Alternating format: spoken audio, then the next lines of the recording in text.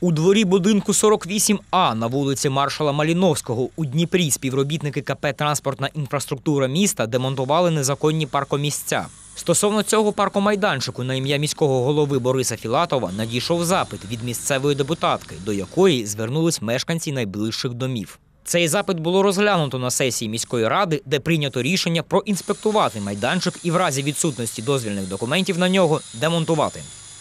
Інспектора комунального підприємства виїхали, виписали припис, жодних документів надано не було. І відбувся демонтаж. Фактично, це була приватна стоянка, власник якої самовільно встановив паркувальні стовпчики та без сплати необхідних податків в міський бюджет паркував тут виключно свої транспортні засоби.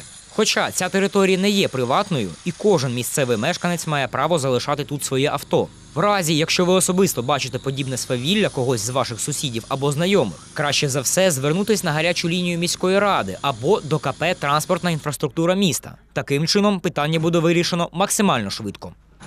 Насправді найефективніший метод звернення це звернення або на гарячу лінію Дніпровської міської ради, або безпосередньо до комунального підприємства транспортна інфраструктура міста.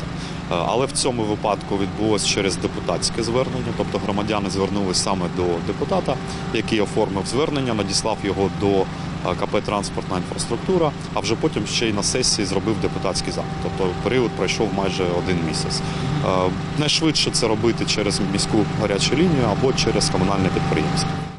Тепер, після демонтажу паркувальних стовпчиків, на ці місця може ставити своє авто кожен бажаючий.